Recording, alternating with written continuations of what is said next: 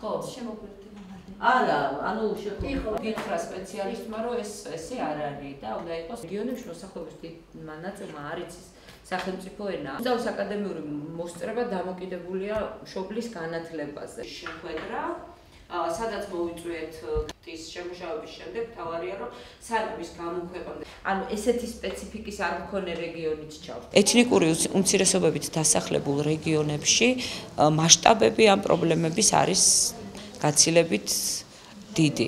ეს უკავშირდება სახელმწიფო ენის ცოდნის პრობლემას, ეს უკავშირდება რესურსების ხელმისაწვდომობას, საზოგადოებასთან შეხვედრა იყო ძალიან მნიშვნელოვანი, რადგან მათ შემოგთავაზეს საკუთარი ხედვა, საკუთარი მოსაზრებები, როგორ შეიძლება ამ საკითხების მოგვარება. საჭირო არის საზოგადოებაში ფართო ინფორმირება და თქვენ წარმოიდგინეთ, რომ არის ისეთ საგანმანათლებლო კერებიც კი, რომლებიც აი ამ საკითხზე ძალიან ისე ინფორმირება ინფორმირებულები არ არიან. ყველამ ფაქტიურად ეს ინფორმაცია გააჟღერა, რომ მეტად იყოს კანონმდებლობაში ყურადღება მიქცეული სახელმწიფოს მხარდაჭერა ამ საკითხების მოგვარებისა. ჩემ სკოლაში სწავლობენ ეთნიკური უმცირესობების წარმომადგენლები, ამდენად აქტიურად ვარ ხოლმე ამ არასამთავრობო ორგანიზაციებთან ჩართული, საიდანაც საკმაო გამოცდილებას, საკმაო კვლევების შედეგებსაც მეცნობი და პრაქტიკაში მუშაობისთვისაც მეხმარები. მე სამი წელიწადი არის დირექტორის მოვალეობას ვასრულებ და სამწუხაროდ ეს რომას რაც შეეხება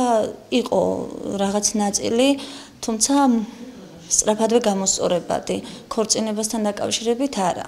სკოლის მიტოვებაც ჯერჯერობით არა.